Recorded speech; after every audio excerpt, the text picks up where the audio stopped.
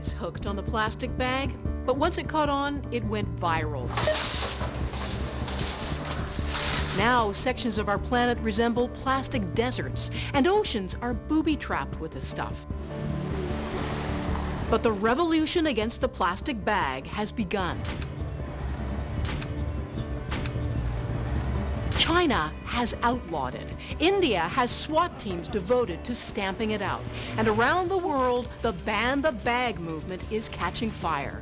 To convince that lot to do something green means that any town can do it. I'm Ann-Marie MacDonald. DocZone goes to the front lines in the battle of the bag.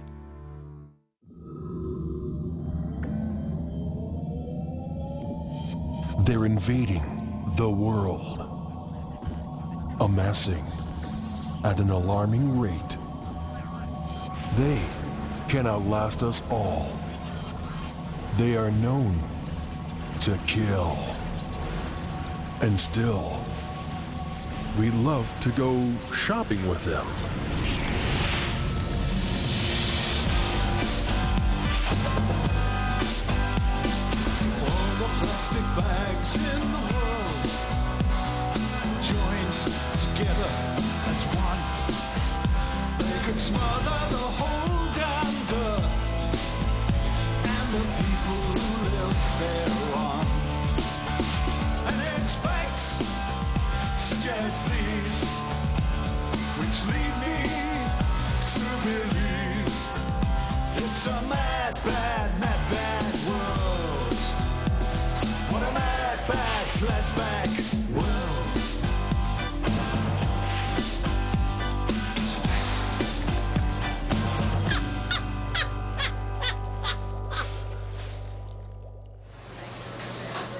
Ubiquitous plastic bag. It's so nice to know they're always at hand when you want one.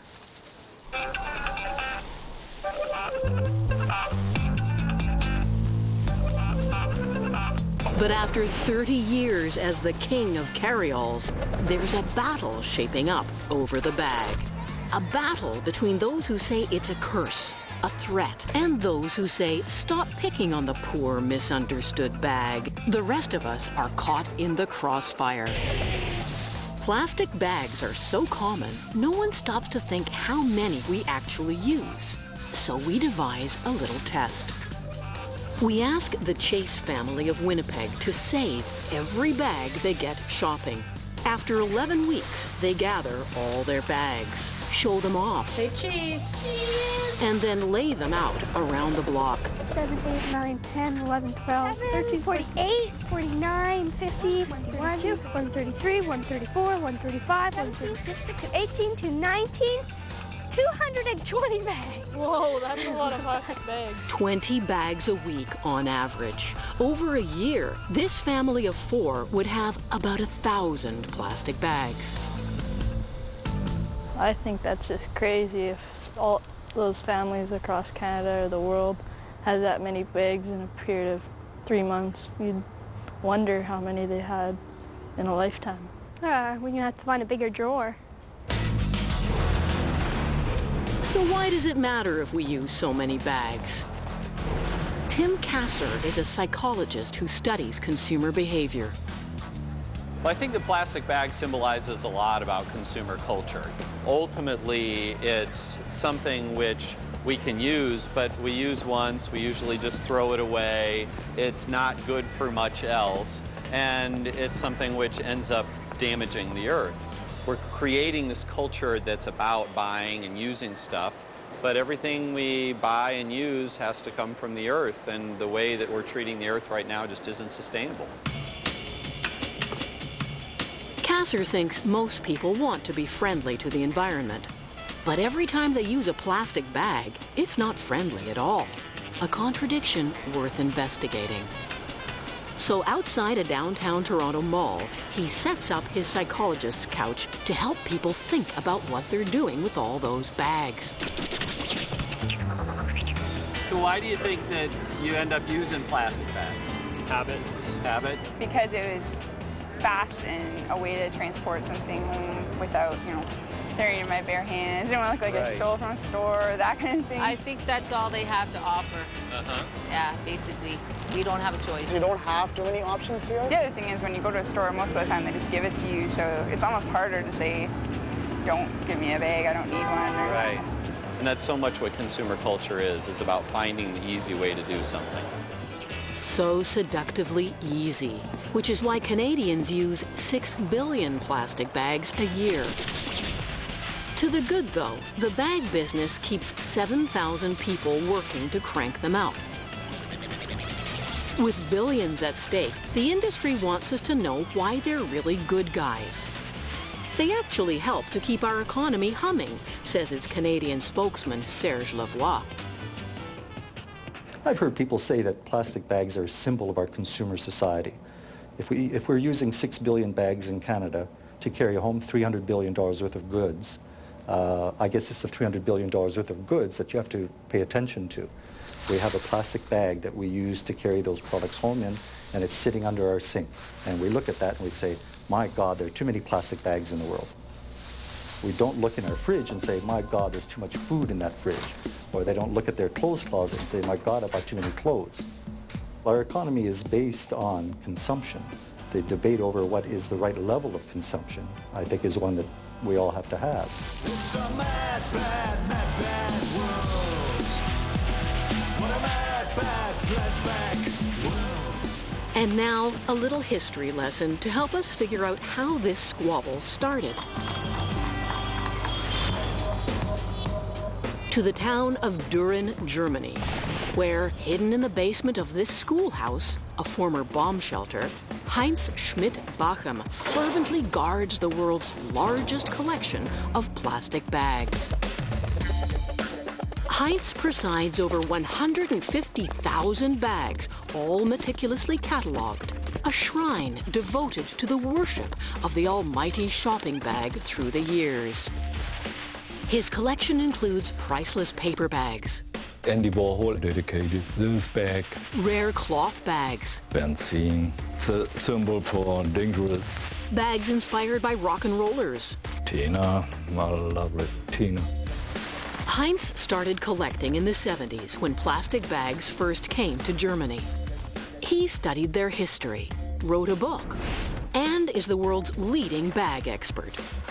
Not that there's much competition. Diese Geschichte der Tüten, das ist eben der Alltag und mich interessiert der Alltag und nicht das, was äh, Staatsgeschichte äh, äh, Geschichte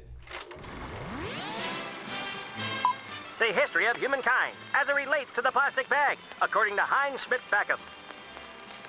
Human history begins when the first human needs to carry some things. So he takes a leaf, spins it into a bag. Now that's using your noodle. Then come more ingenious carriers. The gourd. An animal horn. And a personal favorite of many to hold the bigger items, the ever popular full scrotum. You weren't using that, were you? Gerade die Hodensäcke, die sind dann gegerbt worden und das sind Beutel. Das sind die, eigentlich die Beutel, die, die Bags. Ne? But full scrotums could not be produced in large enough quantities to satisfy demand, so baskets were used for centuries. And finally, along came the mass-produced paper bag. Die Idee war wirklich, ein Werbemittel herzustellen. Die Fabrikanten sagten, ihr gebt euren Kunden einen Beutel und da steht dann drauf, da ist Werbung drauf. The first plastic bag followed in the 1950s. Billions of bags of all shapes and sizes have been produced ever since.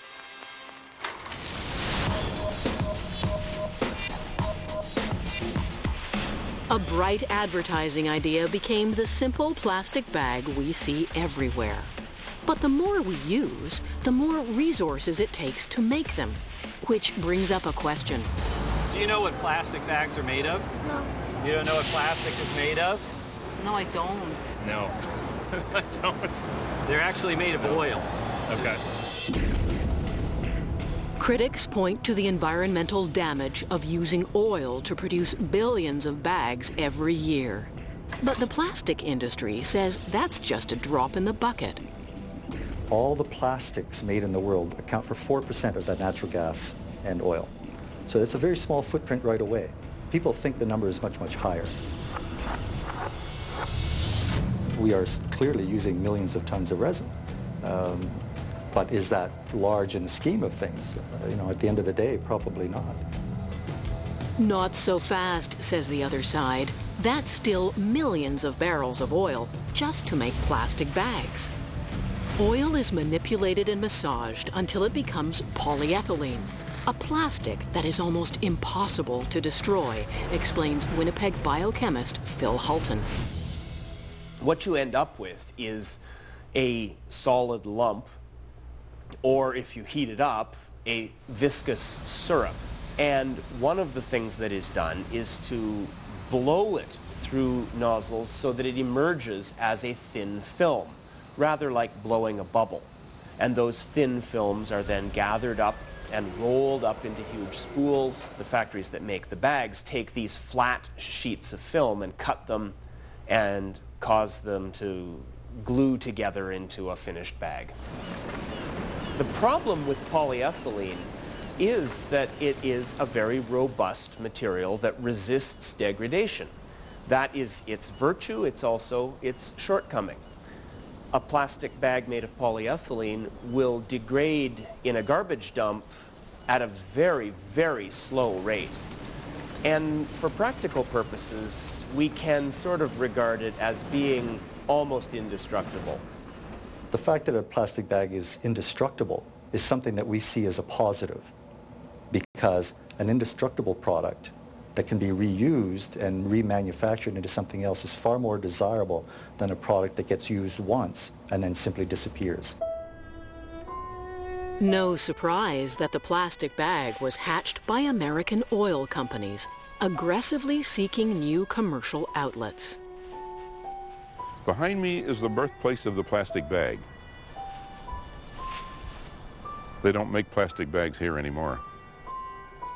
There's a reunion here today of former employees of Mobil Oil, the engineers and marketers, the pioneers. They're gathering to reminisce about the day around 30 years ago that they brought the plastic bag to North America. My name is Terry Donovan. I'm Jim Blythe. Paul Howman. Jack Harrington. My name is Bob Barrett. I was a research associate. I was a development engineering manager. Vice President and General Manager. General Manager. General Manager. U.S. Patent number 3. 583. 464. 543. No patent.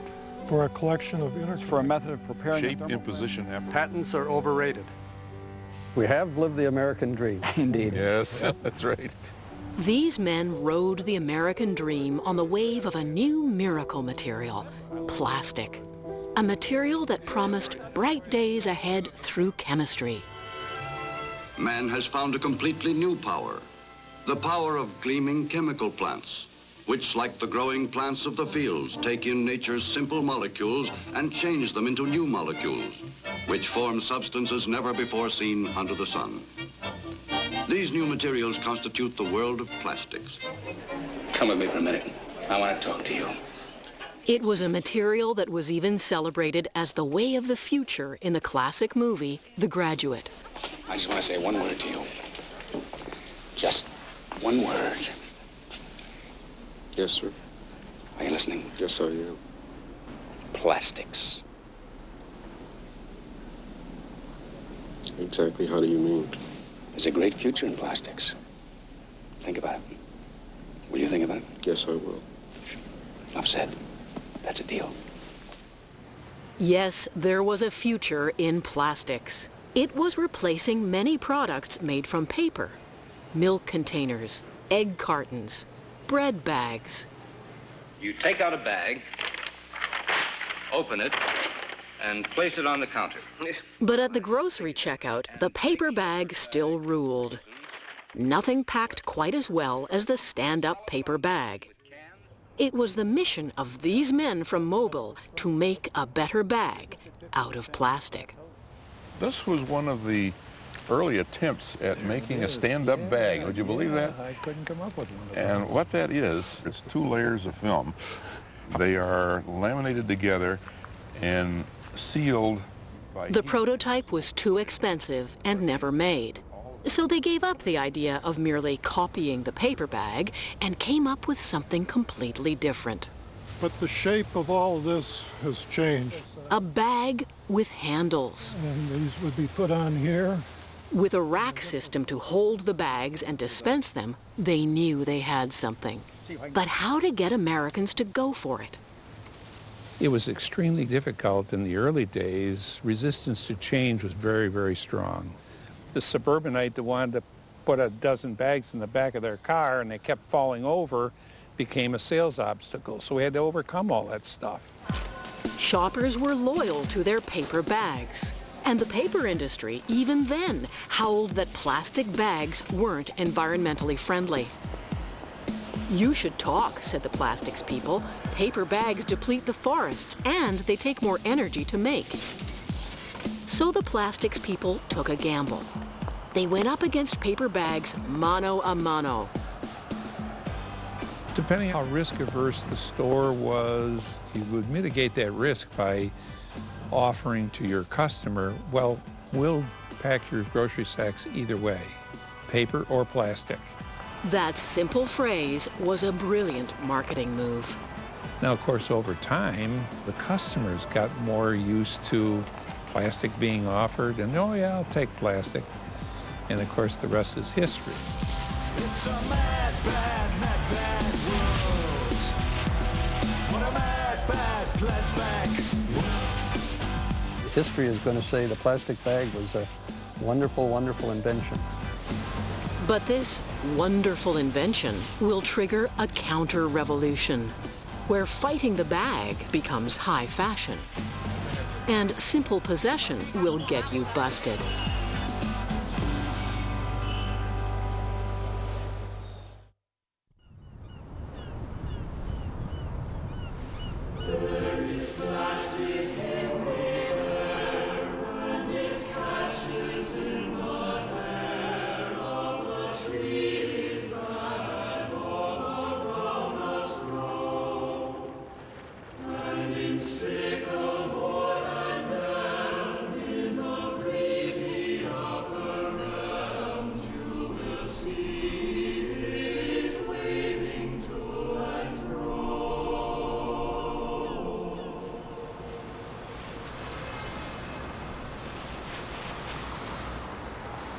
It drifts lightly through the landscape, barely noticed.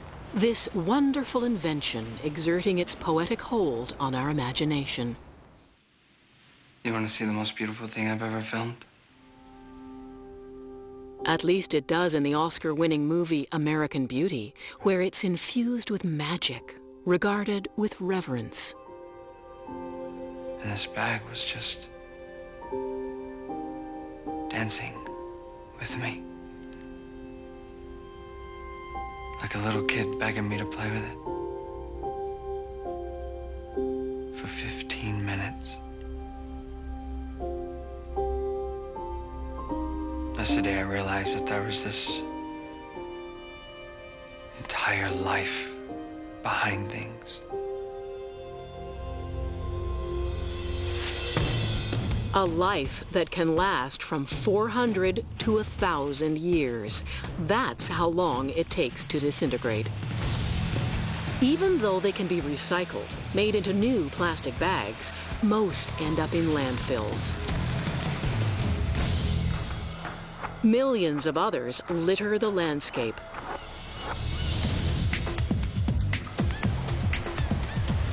Some bags on the loose love to play by the seashore. Oceanographer Tony Amos has studied this beach on the Gulf of Mexico for 30 years. Take a look at this beach. If you look at it closely, this is permeated with plastic because it breaks up into ever smaller and smaller pieces. Many animals will eat small pieces of plastic because they look like perhaps they should be a food item. Sea turtles will eat plastic, and you may wonder why, but this is a bag of uh, sea salt that is used by the shrimping industry uh, for their shrimp catch, and all of those holes that you see in there are turtle bites. A turtle will, this thing is floating in the sea and a turtle takes a chomp down on it. It looks like food to them, color. And, um, and this is the actual result of that. This came from the stomach of a uh, sea turtle. Amos runs a rescue shelter for sick and injured marine animals in Port Aransas, Texas. Hundreds of birds and turtles have been hospitalized here, many recovering from nearly fatal encounters with plastic. Amos couldn't save this loggerhead turtle he found dying on the beach. 75.2. Today he'll perform a necropsy to figure out what exactly killed it. This is the heart right here. He took part in a study that examined 100 dead sea turtles, and what he discovered chilled him. This is where it seems to be impacted right here. About 60% of all sea turtles, that was well over 100 that we opened up, had plastic in their guts. It can, in fact, kill a turtle. Um, we had one turtle, um, a, a loggerhead, maybe about 100 pounds, that was impacted from its mouth to its anus. And um, that this amount of plastic, which weighs probably a couple of grams, um, was, was responsible for killing a sea turtle that, that weighed up to 100 pounds. I'm appalled by when I, when I see what, what, uh, what has happened and, um, to these animals. Well, some act of carelessness has killed an animal that could live for 100 years. So yes, it, uh, it, uh, if you'll excuse my terminology, it pisses me off.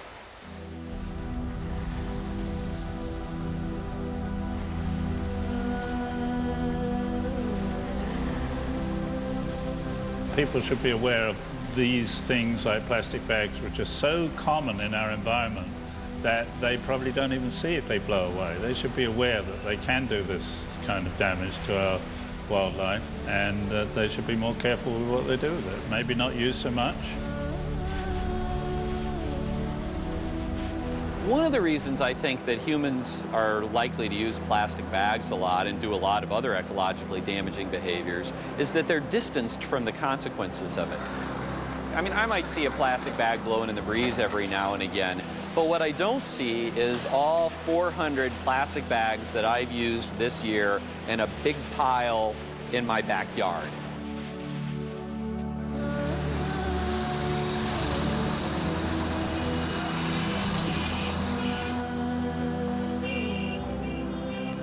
You can't ignore the consequences of a plastic bag in a place like Delhi, India.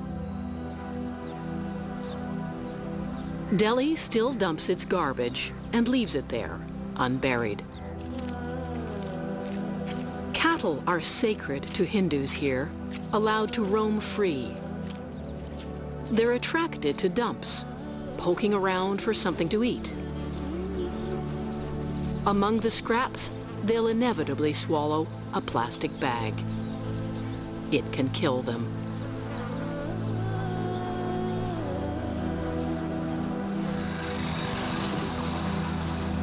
Plastic blocks the digestive tract, and the animal slowly starves to death. Volunteer veterinarians perform surgery that can sometimes save them. This one survived after 50 kilos of plastic was pulled from its stomach.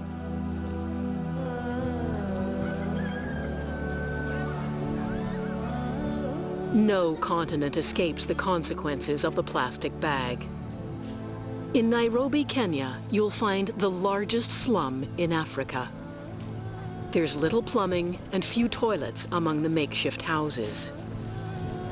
So the open sewers are clogged with what the locals call flying toilets, plastic bags that have been defecated in and tossed into the street. The nearby Nairobi Dam has almost dried up, and the ground here is saturated with waste and plastic bags. The river flowing through it has become a breeding ground for disease. When you look at some of the rivers that flow through Nairobi, for example, the, the water is hardly moving because of this uh, uh, huge amount of uh, plastic in water. Wangari Maathai, member of the Kenyan parliament and Nobel Prize winner for her work in conservation, says plastic bags pose an indirect health threat to humans. We are in uh, areas which uh, are full of mosquitoes, and some of these mosquitoes do carry malaria.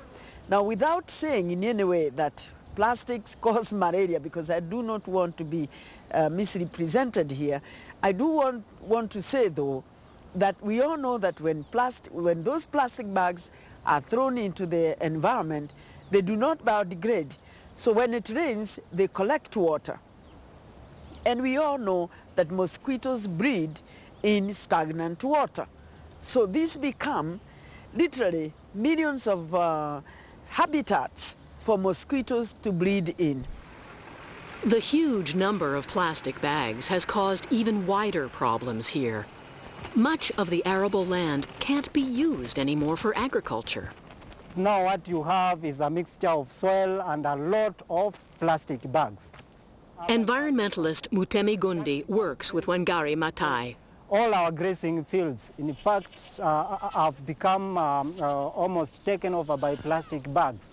And what we are now saying is, if that goat uh, takes a plastic bag, after some time it gets sick. And that's another problem. We went to Dagoretti slaughterhouse and we found that six out of every 10 slaughtered animals have plastic bags in their stomachs. Recently, the first steps were taken to ban certain types of plastic bags. There is some plastic that we can do without, and we can start with those very thin ones that become such a nuisance. You even find them on trees, and jokingly people say plastics is the national flower of Kenya because you find them everywhere. In the coastal Indian city of Mumbai, those thin, single-use bags have been a big problem as well, and they've provoked a major backlash. A few years ago, devastating floods in the area killed hundreds. It was made even worse by discarded plastic bags clogging the sewer drains. To prevent a repeat, they passed a law banning thin, single-use bags, and they gave the law some teeth. Your team will go first to that area, will follow you. The morning operational meeting of the world's only anti-bag police squad. It's these cops' job to keep those evil thin bags off the streets. And today is a lovely day for a bag raid.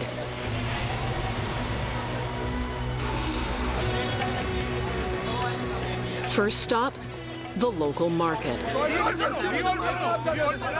From shop to shop, they carefully calibrate the plastic stock. The thicker ones pass muster, but not the thin ones. The offenders get stiff fines. From the retailers onto the wholesalers, sack after sack of bags are ripped open until they hit the jackpot. A major bust. 12 sacks full of illegal bags. They're seized, and the owner fined the equivalent of $600, about half a worker's annual income. Since they started, the Plastic Bag Squad has taken tens of thousands of kilos of illegal bags off the streets. Half a world away, the plastic bag will meet a formidable foe who wages war against her entire hometown. They just thought I was this balmy girl that had this stupid harebrained idea and whatever and shoot me away.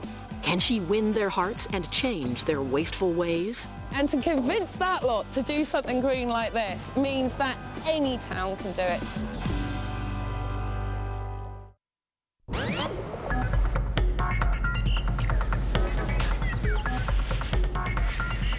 You just know some things have a hold on pop culture when... Right, and this is Carol's carrier bag rule. Collectors collect them. Oh, it must be 6,000 I've got. So, okay, now it's the plastic bag, and then what's next? Poets rhapsodize about them. See, the scientists are releasing all these reports about how with global warming things are going to change. But is anyone saying anything about the gradual disappearance of the plastic bag? And creative types use them in their art. I got married in this dress. I did indeed. Plastic is a free and abundant art material. It's everywhere. It lasts forever. It's pliable, flexible, and readily available. So it figures that environmental groups would shrewdly recruit pop culture celebrities to help their battle against the bag. The I'm Not a Plastic Bag was fashioned by British handbag designer Anya Hindmarch to get people to stop using plastic bags and go with cloth. I like Anya Hindmarch's bags. Some of her fancy creations go for $1,000. But you can get this one, limited edition, for 15. A deal? I missed one store already. so my, my second store, and the ladies around me here are very hopeful we'll uh, get a bag today.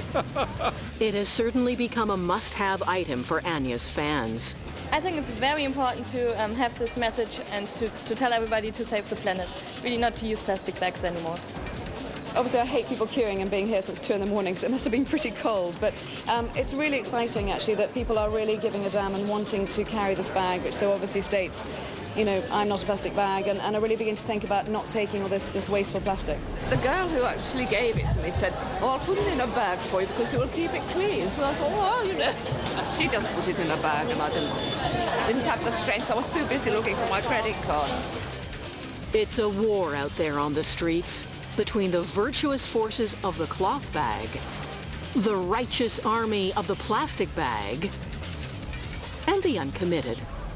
While the war rages in London, the battle has already been fought a four-hour drive southwest in quiet Modbury, a town of 1,500 souls. It all started with Rebecca Hosking, a wildlife TV camerawoman for the BBC. She recently shot a documentary in Hawaii. She never gave plastic bags much thought until she filmed dolphins that used to play with seaweed. Now they play with plastic bags because it's far more common for them to find plastic. It's horrifying because they have the naivety of a small child doing this. And like you would have a small three-year-old with a plastic bag, you want to take it off them. Exactly the same when you see this because they can get it wrapped around their head, they can get it around their rostrum, or they can even swallow it. This is horrific. This is this poor green turtle I came across one day out there, and I really wasn't expecting to see it. And I was phoning the scientists who have obviously got permits to go in and say, you know, please come because this guy's going. And by the time they arrived, because they were on another island, he'd already passed away.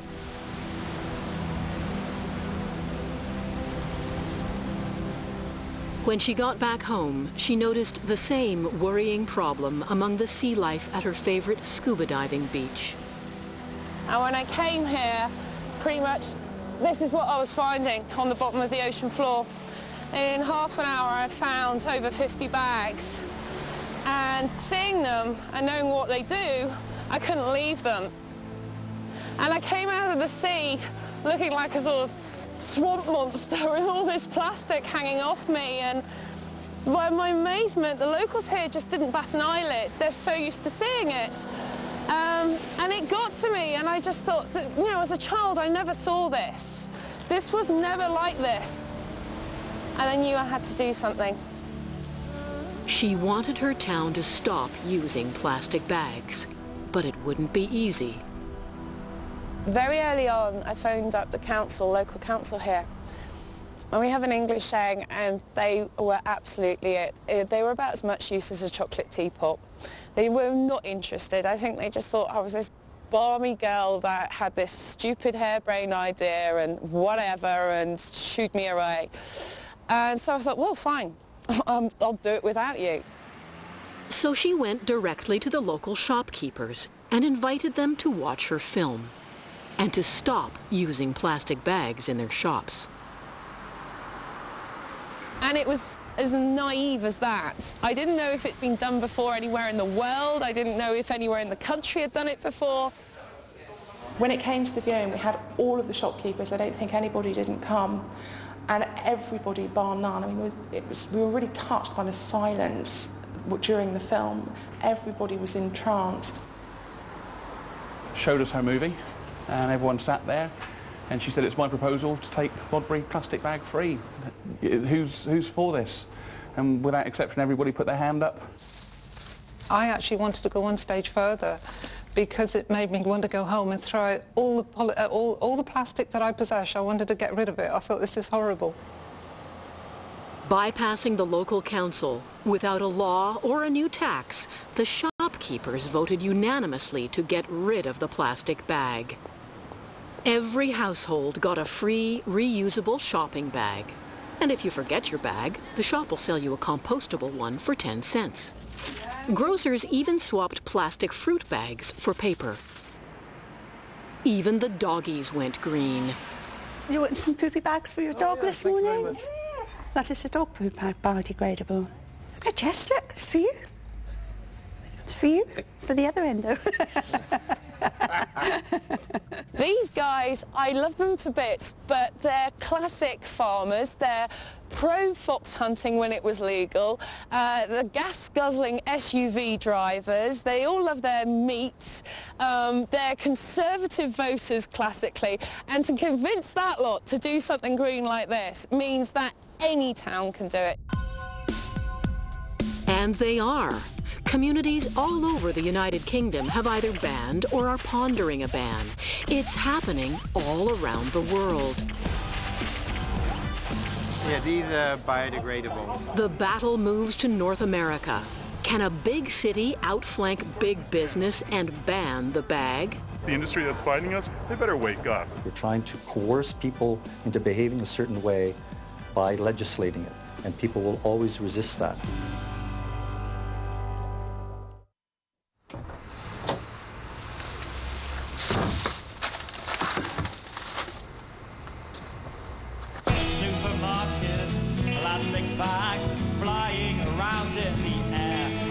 Living life free, but not without cost. I'm cheap and I'm lost.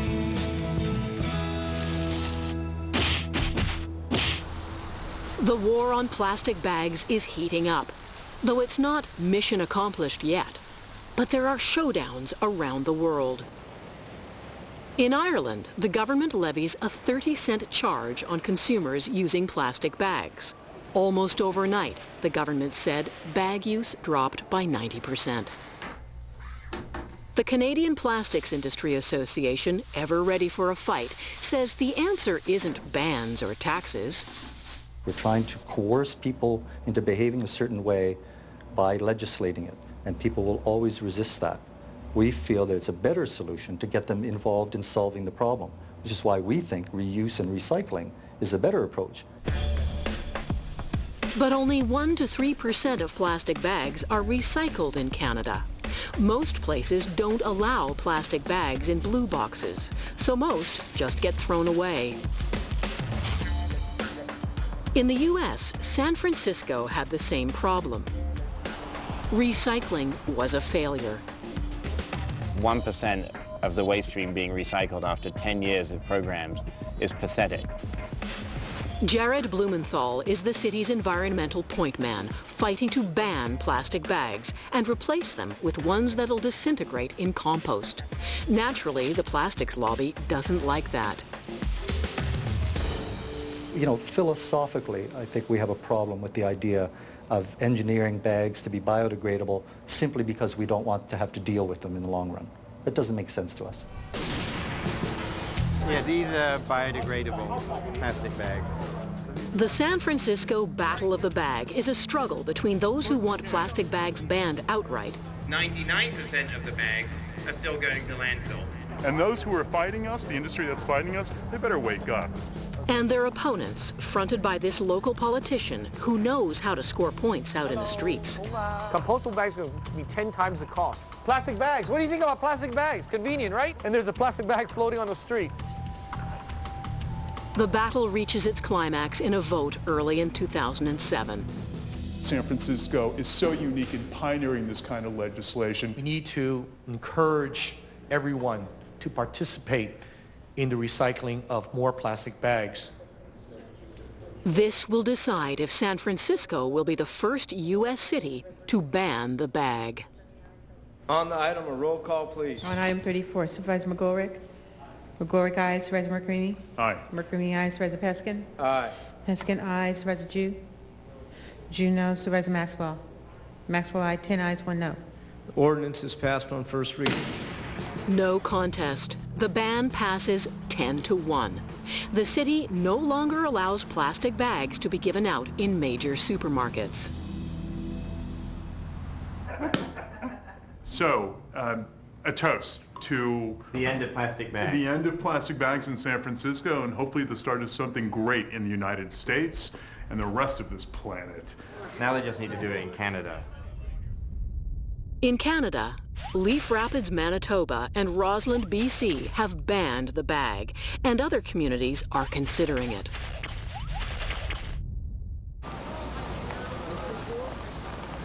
As for the rest of us, psychologist Tim Kasser says, for now, we'll each have to choose for ourselves. What if every time you grabbed your wallet before you went shopping, you thought to yourself, do I have my canvas bag too? I think so we can, but it's not, you know, it's, it's mainly to do with the culture here. Yeah. It has not become a part of the culture here, yeah? Right. So probably that's that's one of the reasons why you just go around, pick up the bags, and end of the day, you don't know what to do with the bags, yeah?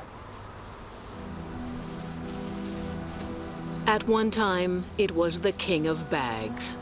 Today, it's pretty much roadkill. What's a poor, bewildered little bag to think? If I were a plastic bag, I'd be feeling misunderstood. And I'm misunderstood because uh, it's not understood how much I can be reused, how much I can be recycled, that all the attributes of my permanence work to the advantage of the environment, not against the environment. So I wish people would understand that about me. If I were talking to the plastic bag, I would say sometimes we think we're doing something that's good, and it turns out we weren't. And the very best thing you can do in that circumstance is to say, you know, I made a mistake. I'm going to change.